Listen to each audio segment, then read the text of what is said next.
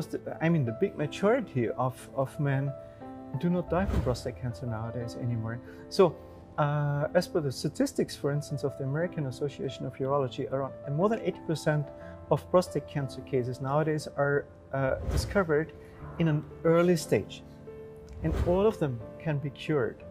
So this is what I'm always telling my patients: don't worry.